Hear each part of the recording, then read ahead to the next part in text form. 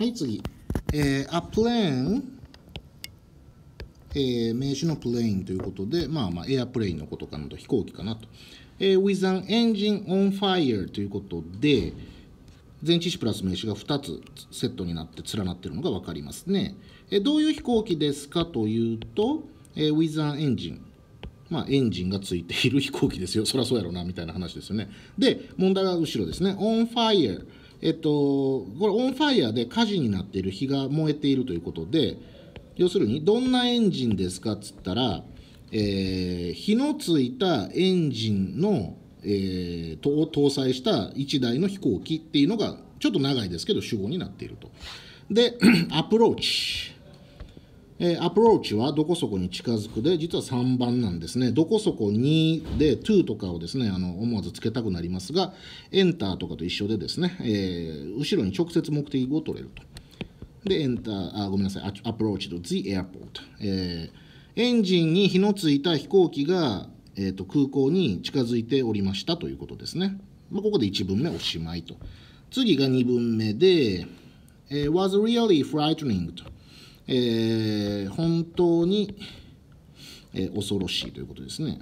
なので、フライトニングはもう形容詞になっている。もともとはもちろんこれも現在分詞なんですけども、えー、frighten というですね、動詞から生まれた、えー、現在分詞なんですが、もう形容詞化しております。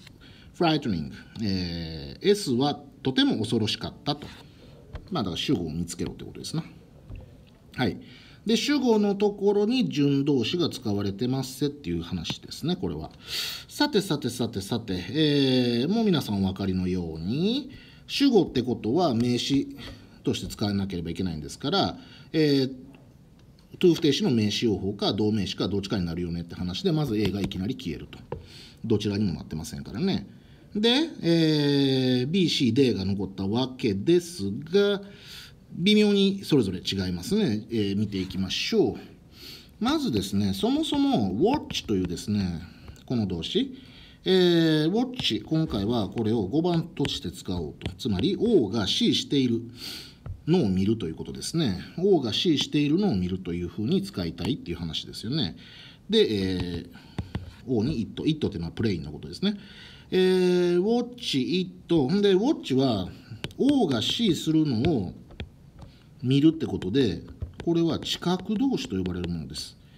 えー、見るとか聞くとか感じるっていう、えー、そういう意味を表す動詞ですね。なので、O が C するのを見ると。えー、C の部分に何が来ますかっていう話ですね。で、これは、えっと、事務の授業の中でも言いましたけれども、5番の動詞が近く動詞の場合ですね、えー、C に来る選択肢としましては、えーと、原型不定詞、つまり to 不定詞を持たない不定詞ですね。まあ、to 不定詞から to が取れてるやつ。もしくは分詞だよと。という話をしました。えー、そして選択肢を見ていくと、もういきなり消えちゃうのがありますね。まず C ダメでしょうと。なんでかっつったら、何やねんこの S はと。3単元の S みたいなのがついてますが、あの順動詞の中でこんなことが起こる起こるわけがないと。まあ、B か D かどっちかっていうことになりまして、D はやっぱダメだよねと。to 不定詞の to がついてるからこれダメだよねと。答えは B になると。えー、watching が5で、繰り返しんですが、えー、ランドが、えー、と C になっていると。で、このランドっていうのが1番の動詞なんですね。えー、着陸する。S ランドで S1。S が着陸するという意味になるわけですね。えー、その飛行機が着陸するのを見るのは本当に恐ろしかったですという日本語訳になります。